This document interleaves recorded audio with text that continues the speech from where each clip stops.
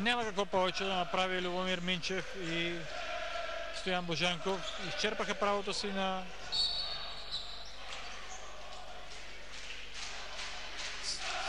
тайм-аути. Почти изчерпаха правото си и на смени. До толкова, доколкото останалите играчи не са готови за битката, която ги очаква. За битката, каквото представляват двобоите между ЦСКА и Левски.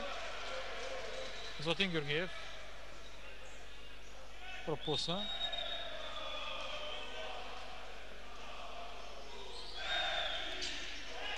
Но при вторият е точен. Добри думи за Златин Георгиев в този матч. Изключителна атака на Златин Георгиев. Зрителите пълнят залите.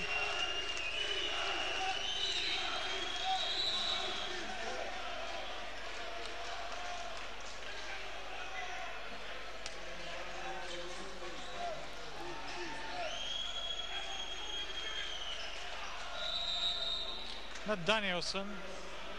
Беше отсъдено пето лично нарушение, 15 точки.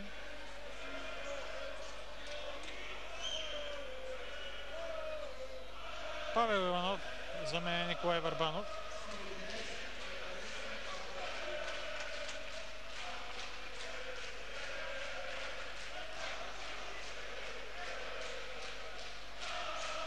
Поредният си силен матч изиграва Златин Георгиев Session Sesaka.